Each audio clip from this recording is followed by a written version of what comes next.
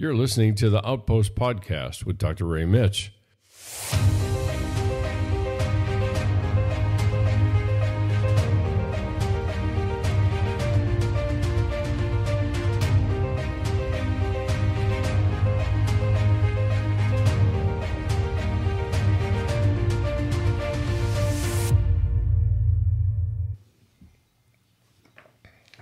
Well, welcome everybody to the Outpost Podcast. I am Dr. Ray Mitsch, your host, and uh, we are officially live once again. Uh, we took a quick reprieve from the podcast to allow you to see kind of behind the veil of of uh, the silent retreat, and uh, hopefully you enjoyed seeing that and hearing some of the observations to be made along uh, with that. So um, we are restarting Actually, we're trying to finish uh, a pretty long series that I've been doing on the spiritual journey. And we were looking at the various aspects of uh, the spiritual journey and, and the pieces of it that go together with it, you know, in terms of stages and so forth. And, and at that time, I had uh, um, commented on my uh, misgivings about a stage approach to um, uh, a, a, stage approach to doing the spiritual journey simply because of the um, the temptation we have for linearity. We we like things in lines and and in predictable ways so that we can kind of control the outcome and that's where we typically I think get into trouble really because if I can control the outcome then I really have no reason to trust God or what what uh, He is actually doing, or be sensitive to it or noticing it. So, anyway, let me uh, let me introduce some of this. If anybody's just joining us and wondering um, what what the uh, deal is all about, you're listening to the Outpost podcast. It is a podcast that looks at the intersection of spiritual formation, um, faith and psychology. And that really is the basis of all that we do here at SGI. And, and the Outpost is just simply the, the voice of uh, SGI, Stained Glass International. So we want to create a space where the doubters and the wounded and the confused and beat up and beat down, the bent and bruised who believe their lives are, are a disappointment to God, to be somewhere that, that they can feel accepted they can be known uh, and known enough to know others, and um, and to to seek seek a place to create a place where people can meet the biblical Jesus. And and you know, I I just finished uh, this semester. Actually, it was a year uh, meeting with a group of young guys, and what I found was that we they actually experienced this very thing that we we are that I'm talking about here on the podcast. And uh, so it it it was pretty exciting. It was amazing. Uh, it was certainly a Holy Spirit moment, a sacred moment, where they they reflected on the year and the things that had happened and and how um, God had brought them along in their journey with Him. And so um, so that that that is the prototype of sorts for uh, what we're talking about here in the spiritual journey. Um, these guys are at very different places. Um, so, uh, what I want, like I said, uh, what I want to do is finish this up. So, pull up a chair, relax, um, get a cup of coffee or tea or whichever, whatever your beverage of choice is, and let's uh, let's try to figure out a way to land this plane as we've been talking about it. Now, where we were was I talked about um, and have been using material from a book called The Critical Journey by Janet Hagberg and uh, Bob Guelich. And there were two key principles that I started out with. Um, and I, I've done this for every episode essentially, is that uh, we we really can't move anywhere if we don't really know where we're at. And that's really why I'm focusing on describing the stages of faith and what they look like and what this journey looks like. And at that time, we talked about it in terms of if you were climbing a mountain, it's not climbing it straight up, it's climbing it in some kind of spiral sort of way. which means that ultimately, if there's a obstacle or something like that on the on the mountain, you will hit it every time. And unfortunately, when we hit those obstacles, we're sure that we haven't gotten anywhere because it's the same one that we hit the last time we've been around this way. And in fact, we're higher. We are t- we're tempt, tempted to be distracted by the obstacle or whatever it might be, um, rather than looking at where we've come from and where we actually are. So that's the first one. The second kind of enduring principle that cuts through really all of this is you can't lead somebody someplace you've never been. And um, which means that ultimately I have to invest in my own journey and and my ability to reach to other people and help them is really calibrated against how well I'm doing, not how well, but how engaged I am in this thing that we call the spiritual journey. So we went through all six stages. We're going to land on stage six tonight.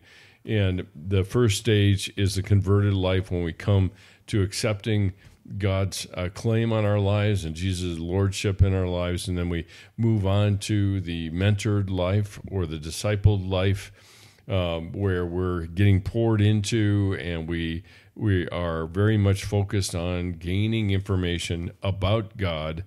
And sometimes it's pretty easy to lose sight at that stage uh, that knowledge about God is is a substitute for actually knowing God Himself, and that and that is oftentimes a distraction during that time. We're we're learning all this new stuff, and so by by definition, then we're we're, we're focusing on collecting information, and like I said, our temptation then is is getting a little distracted by all the information, essentially. So and then uh, and then we go from that to the productive life where we get involved in a um, in, in some kind of uh, contributing mode, some mode of, of producing for God and being involved in ministry and things like that. And that's that's a natural progression, really, of our spiritual journey, our spiritual maturity, and our ability really then to transmit what we've learned. And again, all through these stages, there's always this temptation that, like I said before, it's kind of the substitute of knowledge for knowing. And that is a ongoing temptation. I think it continues to be that temptation throughout. And so, where we went from that productive life, that stage uh, four, stage three and four, there's there's something called the wall, which really kind of strips away all of our efforts and all of our assumptions about how do we engage this relationship with God because most of the time we've come to the conclusion that the way to engage a relationship with God is to do things for his people and to do things for him. And what we miss is that he doesn't need us doing anything for him. Actually, he's more concerned, I would say, more concerned with our motivations for doing things for him than what we actually do. And so that is a big part, I think, of the wall. Some people have referred to it as the dark night of the soul. The funny thing about that, and this is just a brief aside, but the funny thing about that is, is that when St. John of the Cross actually wrote that book, Dark Night of the Soul, we think of darkness as the absence of light or um, as this despair and those sorts of things. And that was really never intended in, in his writings. Uh, what was intended is that this is an obscure night of the soul. It's hard to find it. It is uh, very um, uh, uh occluded from our vision. We can't see it real well. And that's really what dark was meant but for St. John of the Cross, which he was a saint of in Spain. Um, and he was right uh, um, connected to Teresa of Avila, which is another saint, a spiritual formation um, individual that wrote about spiritual formation.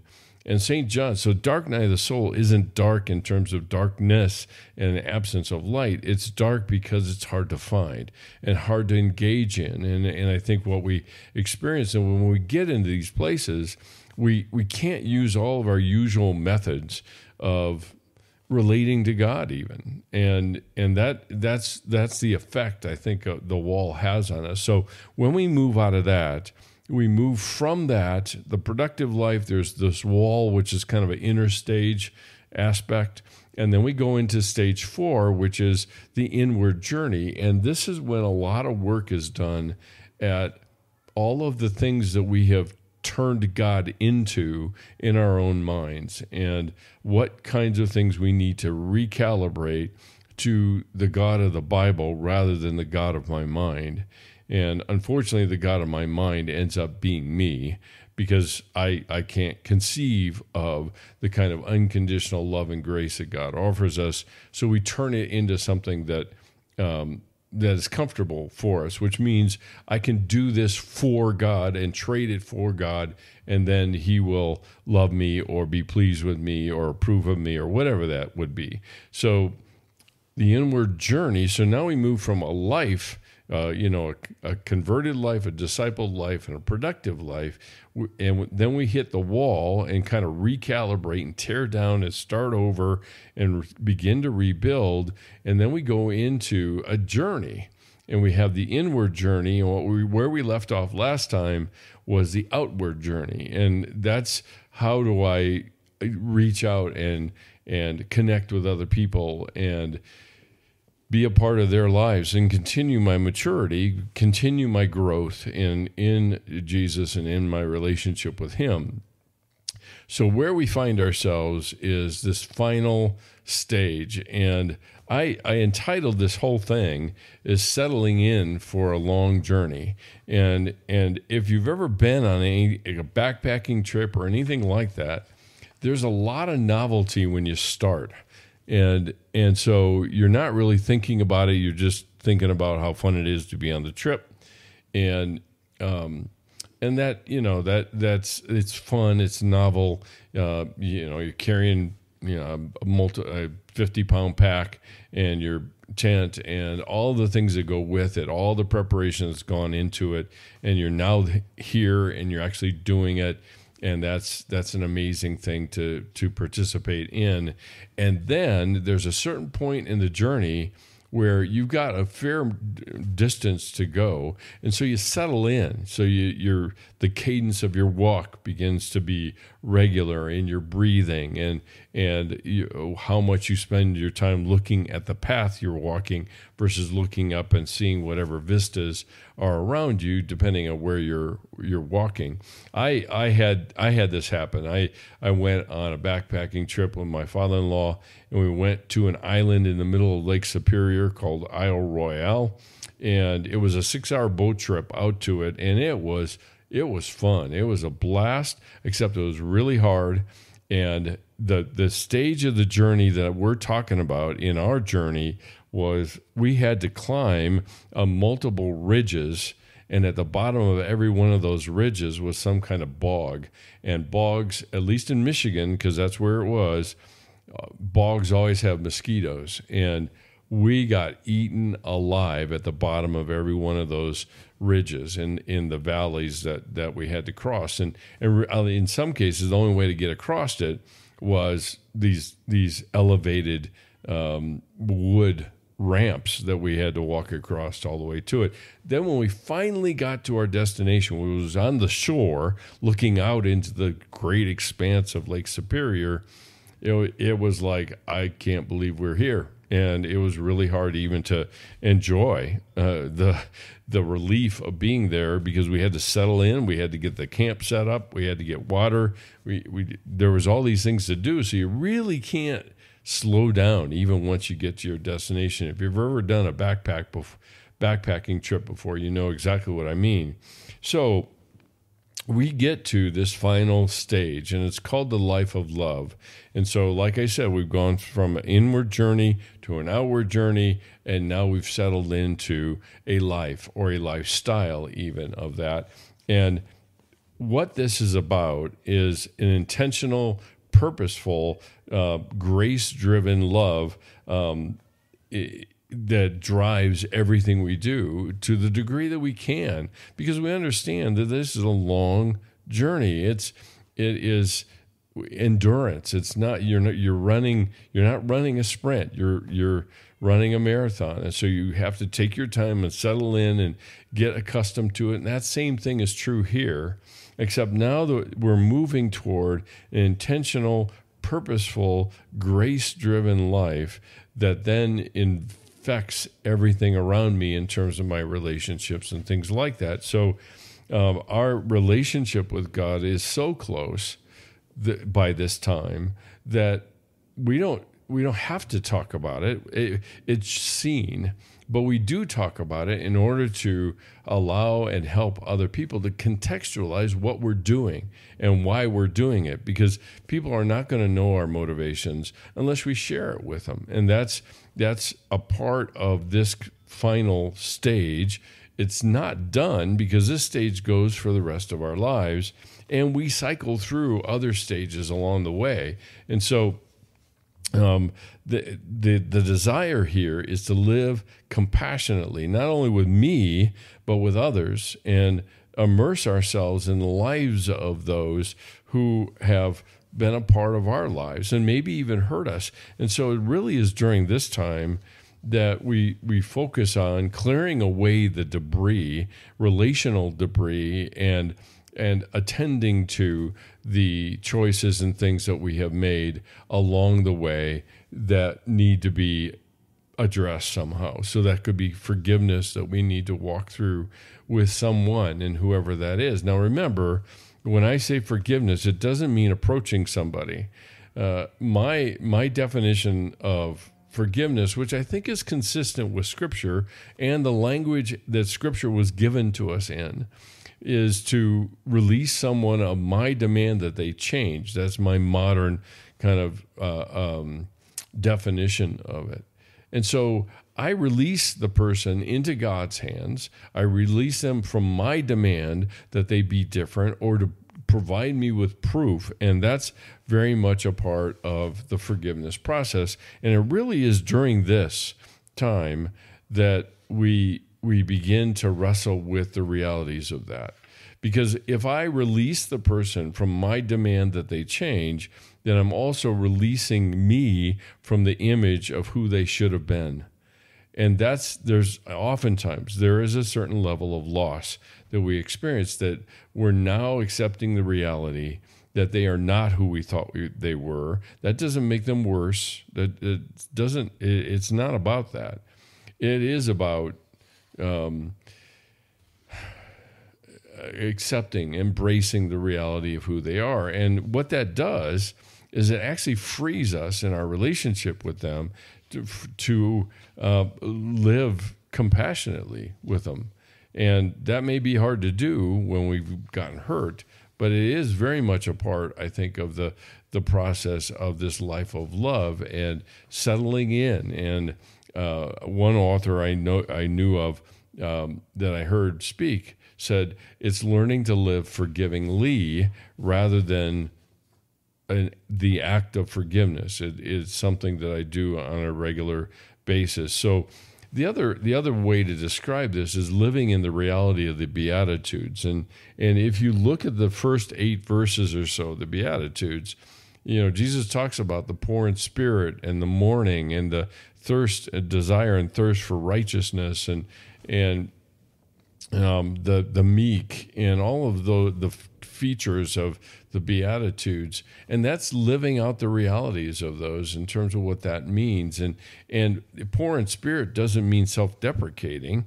Poor in spirit is having a clear understanding of my brokenness and not condemning me for that but accepting the reality that my humanness is not only my greatest liability, it's my greatest strength. That's what God delights in. And so, you know, one ancient saint said uh, that the glory of God is in a human fully alive. In other words, living fully as human. because that is how God designed us to be. So there is that. Uh, some examples here really is about um, Jesus' service that that punctuated everything throughout any of the gospels. The thing to keep in mind here is that there is a, a very key distinction that happens during this kind of stage or this phase of the journey. And we move from sin management to heart development and heart um, uh, heart development. I'll just leave it at that. And sin de- management is about avoiding something. Heart development is about pursuing something. Okay, and so sin management. I'm going to make these distinctions here for just a few minutes. Sin management is about the law and about certainty and about um, prediction and control and all of those things. That's what sin management is about. And if you sit and talk to any uh, any Christian, oftentimes they t- spend more time defining themselves in terms of the sins they've committed than the the lavish love of the Father for them as them, even broken and all. And we say that we believe that to be true, but we don't live that way at all. We live in a sin management world. So, in other words, I'm doing everything I can to avoid sinning. And essentially, we end up starving our hearts by doing that. Because sin management is all within my control. And even when i fail it's still within my control. And and that's what is key to understand because sin management is about control not only about for myself which is a fruit of the spirit right? Self-control is. But i can't find anywhere in there that control over others is part of this fruit of the spirit because that's above our pay grade and so sin management is about avoidance. Now, uh, imagine a scene, okay? And you're walking in the woods, you and a friend, and you hear a very very big crashing sound near you and and you're familiar with this woods you've been down this path before and and and hearing this sound you know that within a short relatively short distance there's a cabin that would provide you some measure of safety and security. And and so because of that, you heard the sound, you about figured out where that sound was coming from, and you knew where the cabin was, and you took off at Mach speed to get to that cabin and to be safe finally from whatever this is that was making all this racket. Okay. So you pursue going to the thing that provides safety and security. Now, an alternate reality of that is you're walking in the woods and you have no idea that there's anything near you, any safety, any cabin, anything at all. You know where the sound is, and all you can do is move in the opposite direction, which would be avoiding. And and so it really doesn't matter what direction you go when you're avoiding something. It really doesn't, as long as it's away, right? But if you're pursuing something, it does matter what your target is because you have a, a um, guidepost for what you're trying to get to, and you you know what you're looking for, and and everything that goes along with that. And so that's the difference because sin management is I will just do the opposite and then I will do better. Versus heart development, I will pursue a intimate, authentic, conversational even relationship with Jesus and cultivate that relationship of trust with him. I'm pursuing that. And every day then is spent cultivating that rather than avoiding something else. And and I I think just from being you know a psychologist and having been done it doing it for as long as I have, the people that spend most of their time on sin management get exhausted and they relapse over and over and over again. Those that are pursuing the development of their heart, the care of their heart, as Proverbs talks about it, that be diligent to take care of and guard your heart. Those folks, they expect failure. They expect falls and stumbles and things like that. But they are pursuing that kind of relationship and focusing on that. And that is what guides them rather than the, than defining themselves in terms of all the things that they failed at doing or the sin that they've committed. What's interesting is that when we pursue something like that guess what falls slowly but surely by the wayside? And that's all the things that we would have focused on with our sin focus our sin management focus and so the relationship becomes what's so prized rather than avoiding doing something bad. And that is what draws us to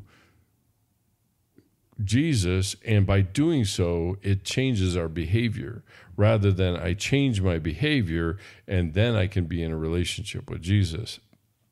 So, the, the, the key of this life of love is the long term journey that we're on. And people that would fit into this category would be people like Corrie ten Boom, who was involved in World War II. And she and her sister were in a concentration camp, and her sister died there. And and she was counted among the righteous by the Jewish people because she would save people and, and hide them. And so Corrie ten Boom would be an example, or Mother Teresa would be another example. Um, it would be two very recognizable examples that we could point to that are living the life of love. Now, interesting little story about Mother Teresa. The story is one I read about a, a guy who was struggling in his faith and didn't know what direction to take in his career and and thought um, well, I'm going to go to Calcutta and I'm going to meet with Mother Teresa. Maybe she will give me some insight into what I need. And so he makes the arrangements and he heads off. And she did mo- almost all of her ministry, as far as I, I, I can tell or know, in the slums of Calcutta. It was all the people that were oppressed and forgotten, and um, the people that were so needy. And and she and uh, this uh, I've forgotten the order she was a part of would minister to them. And so he comes to the compound. He meets with Mother Teresa, and they're walking, and he's introducing himself. And, and she stopped and looked at him and says, What do you seek? And he said, I seek certainty. I just need to know. And Mother Teresa shook her head and said, No, you do not need certainty you need trust. And that is that is the voice of the life of love is a life of trust. And nothing I think is so remarkable in so many ways to God and warms his heart when we trust him. And that's the life of love that we're talking about here.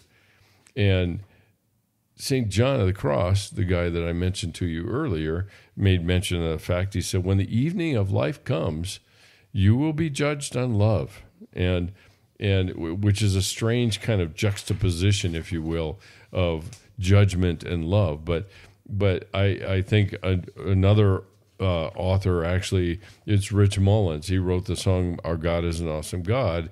He said, "When we get to heaven, God's going to look us over, not for all the medals and accomplishments, but at the scars, the things that probably um, probably indicated the life of sacrifice and the life of self sacrifice on behalf of others. So there are ways, and I've said this each of these stages, there are ways to get stuck.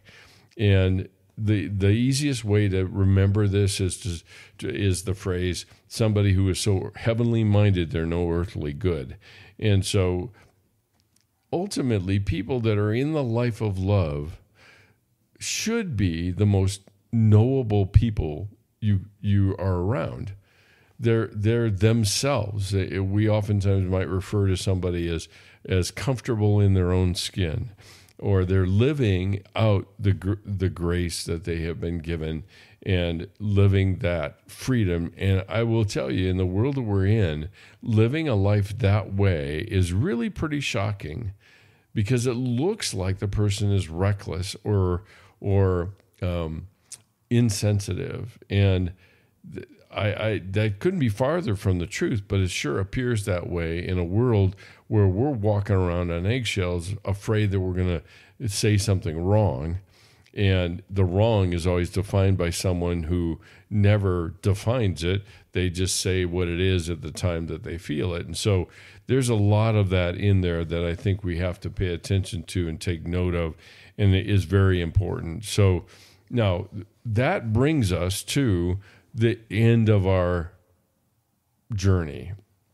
But it's not the end, it's just the beginning, as the old phrase goes. And and this is the life of of love, the life of the life of faith.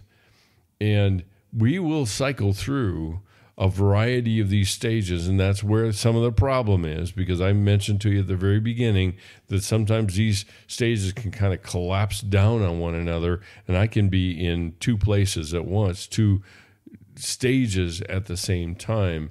And so I, I think in a lot of cases, it would the the uh, metaphor of a season equally fitting here because I think we we go through seasons within each of these stages even that that we experience along the way that is important to keep in mind. So hopefully that that uh, links you back into uh, the the uh, warp and woof of what we were doing in, in previous to the the short interlude of the silent retreats.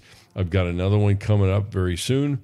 And uh, on that point, um, we are uh, always in uh, prayerful hope of people partnering with us to make it possible for people to go to those if um, if they can't afford it, and that's that's ultimately what SGI is really all about. So.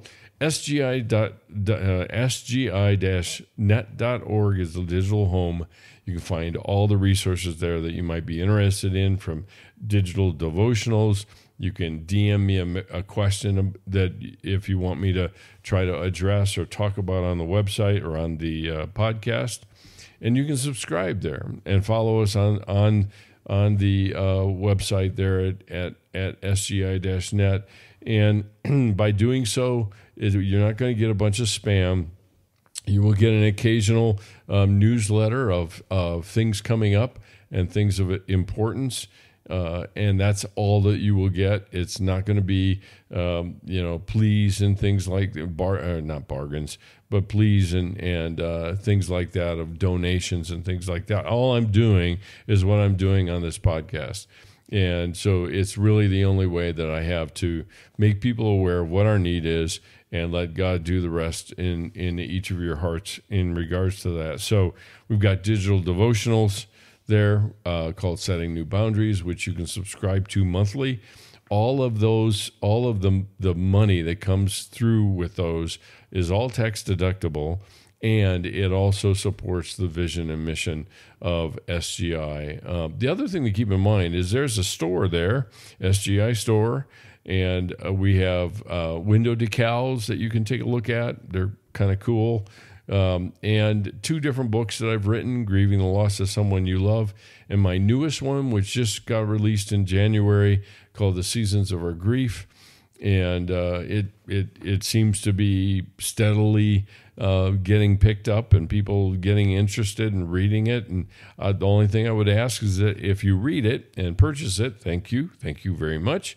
Uh, but if you do that, write us a review uh, uh, of the book and whether it or not it it uh, met your expectations. It's not that, like I'm teaching about grief in that book.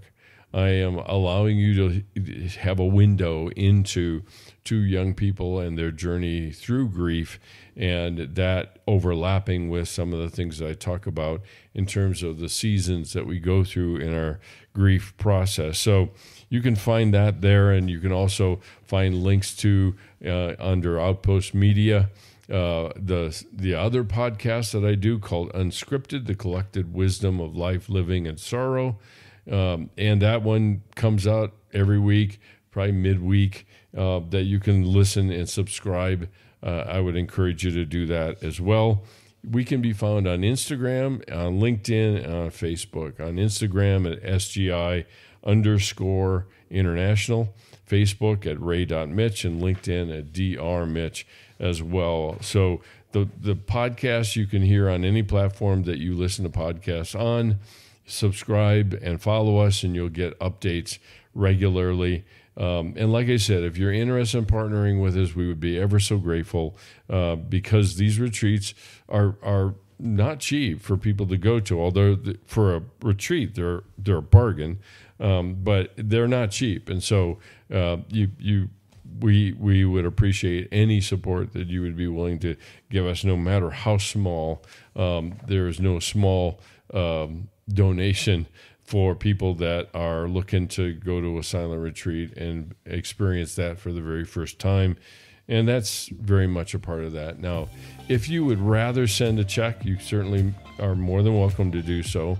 Just simply make it out to SGI and send it to P.O. Box 322, Eastlake, Colorado 80614. And I think that's it for tonight. Thanks so much for for uh, uh, listening in and meeting me here. I will be here next week again. And until that time, love ya. Later. Bye.